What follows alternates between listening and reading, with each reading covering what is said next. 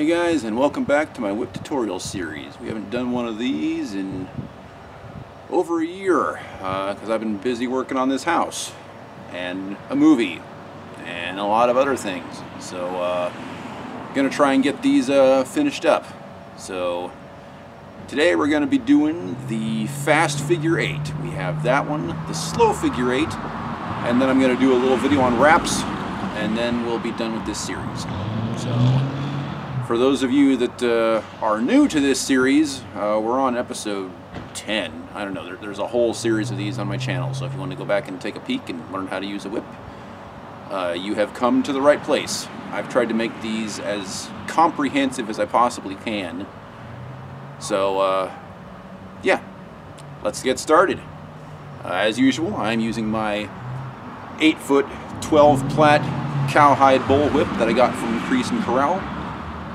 And without further ado, let's uh, let's get cracking.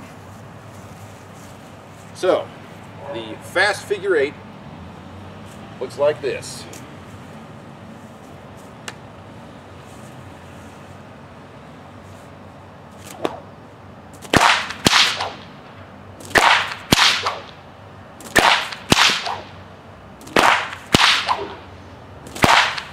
Okay, do a couple of those from the back.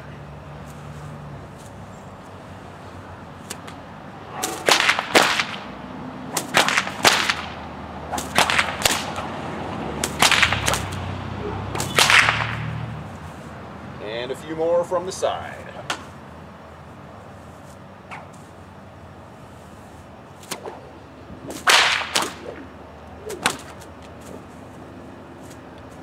Looks like the cracker got tangled up. Those of you that watch this series, that does happen on occasion.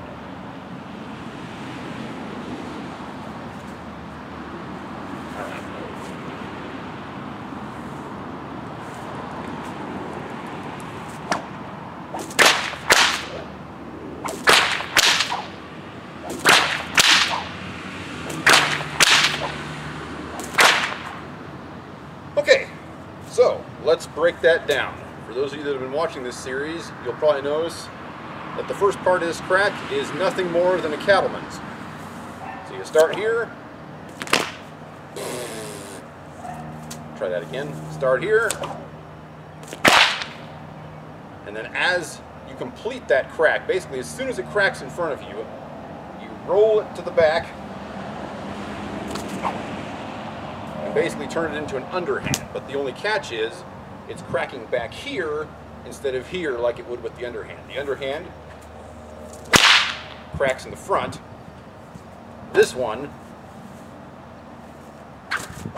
is going to crack behind you. Now it's important, um, we've discussed this in previous episodes, to keep the whip in a straight line on the right side of your body, or the left side if you're left-handed. If it starts flailing out this way, it's not going to crack for you. So on the Cattleman's, keep it straight in front, and then roll it back, and sweep it up. Okay? We'll try and do that a little slowly. Cattleman, and a loop.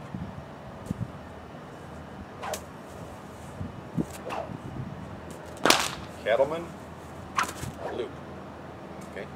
do that from the side. Here's the cattleman. And then the loop. As you can see, the whip is wanting to crack basically like somewhere right here, right behind my butt. And that's what we're aiming for. Crack. Sweep it up. And then that basically sets you up for a second cattleman, which is how you're able to combo this one basically as long as you want to. So we'll do that from the back now. Sweep up with the cattleman. And back and up. Cattleman. Down. Back.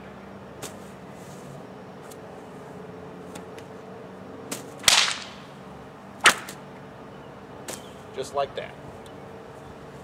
Now, just like I've done in previous episodes, we're going to set the whip down for a minute and use the stick. because as all of my viewers know, the movement of the whip gets confusing. So if you use just the handle, you can see the move as it's supposed to be executed a lot easier and quit worrying about what the whip is doing and start worrying about what you're doing with the handle because obviously that's the important part. So, start with the up, with the cattleman, come down, as it cracks, move it around this way, and then sweep up like so. Up, down, back. As you make that backwards motion, you're basically just creating a circle with the handle. So up, down, back up, down, and up. Okay? do that from the side. Down, back, up, down, back, up. as you can see, as I'm, as I'm changing my movement with my wrist, here comes the cattleman, okay? As the handle passes my hip is when I want to turn it, okay? So all that movement is done right next to my body as the handle passes my hip. Okay? Now obviously the timing on this is going to vary depending on the length of the whip that you're using. If you're using a shorter whip, the timing is going to be faster. Longer whip, it's going to be slower. For you beginners, try to get a 7 to 8 foot whip. That's the best place to start. Down.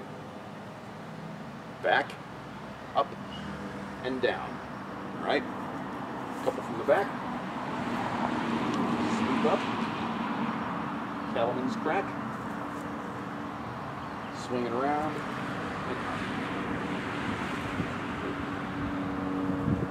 Cattleman's. Swing it around. Up. And back down.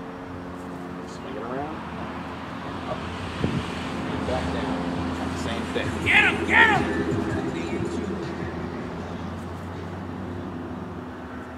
I get yelled at a lot because I'm the biggest dork in this neighborhood. So, let's go ahead and uh, finish this up here.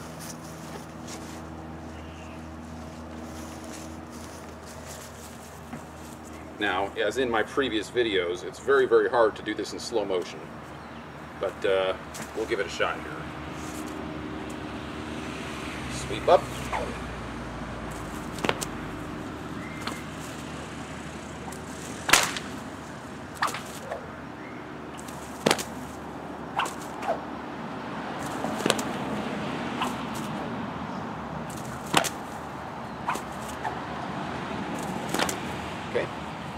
side.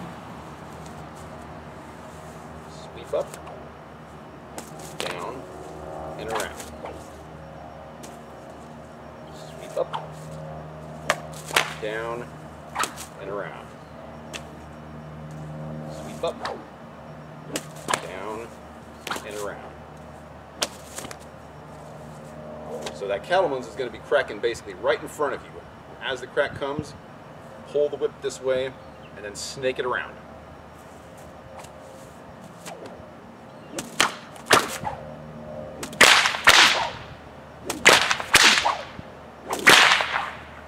That. Okay, we'll do a few from the back. Sweep up.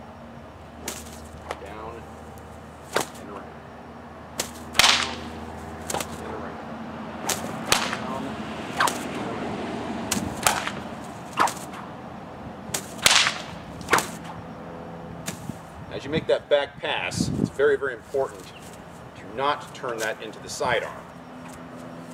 Like that. Okay, otherwise the whip's gonna get away from you. Okay? It's the same motion as the sidearm, but instead of throwing it to the side, sweep it up.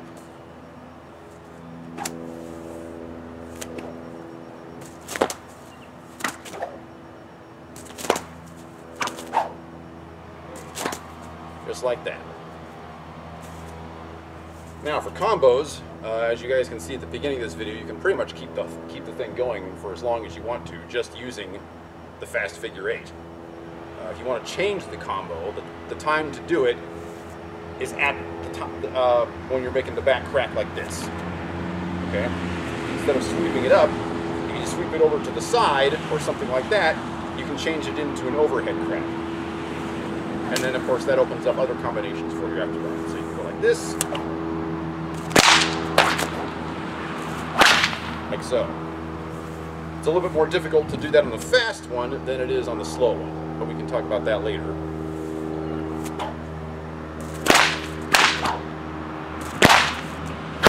You can also turn it into the overhead like that. So there are lots of different things you can do once you get once you get the whip working for you. Down. Down again. And then the overhand. So, uh, that pretty much concludes this lesson. That is the fast figure eight. Uh, next one, we'll be doing the slow figure eight. Now, normally, I encourage my viewers to watch these in order. Uh, these next two, it doesn't matter which one you do first. Some people find that the fast figure eight is easier. Uh, I'm one of those people. Some people find that the slow figure eight is easier. So if you're struggling with the fast figure eight, you could try skipping to the next video and watching the slow figure eight and uh, see if that uh, helps you at all. So anyway, that's where we're going with this. As always, thanks for watching and have a good day.